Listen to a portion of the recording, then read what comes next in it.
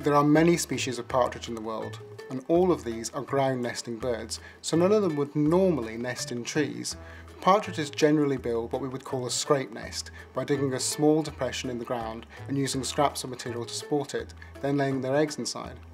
To avoid their eggs being destroyed by predators, some species of partridge will build nests under hedgerows, under rocky outcrops, or within vegetation to stay hidden.